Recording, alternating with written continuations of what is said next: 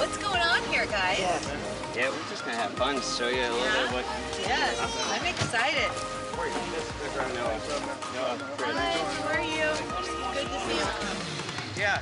I'm so excited. We've never had a basketball court outdoor in this area of Watts. So impressed. Yeah. This is so fantastic. Years and years ago, uh, they had some stuff over here, but we were like, let's put it on the backside. So with drive-bys and so forth at nighttime, Yeah. that they're protected by the building. It's not Yeah. a target, and Yeah. it's like, but let's do it actually proper. So it's honestly a full basketball court. Stop. They're doing um, the rebar and everything that Yep. goes down, and Yep. then the cement, and then we'll come in and paint lines and put the hoops up. They've been working around the clock. So- Amazing.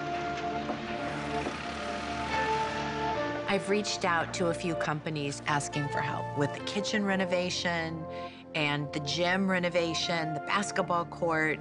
A lot of people have already chipped in and donated. For Adidas, our belief is that through sport we have the power to change lives, and we feel like creating safe places to play for kids is life-changing. Adidas has been amazing because they've agreed to do the entire outdoor play area. And other companies are doing the inside, I'm so impressed. Yeah. getting the concrete poured for the future basketball court is my dream come true for them.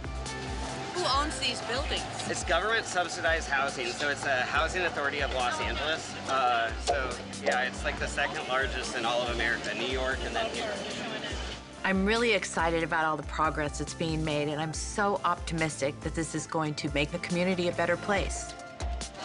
How are you? I'm Bruno Marquesi. Nice to see you. Very nice Thank to meet you. Thank you. so much for being a part of this. No, thank you. It's So amazing. It's about giving kids safe places to play and the opportunities to be successful. That's what it's about. Kids, they honestly think they're born and are gonna die here. We had one person uh, that was shot and killed uh, one block away uh, two weeks ago, and then last week, uh, maybe 12 blocks away, there was two people shot and killed, and six, uh, no, six shot, two killed. some of our kids in our community, either they father in prison or deceased. I lost two kids in 60 days. That's how I met Justin. This is a dream. Whatever we wanted, you did it.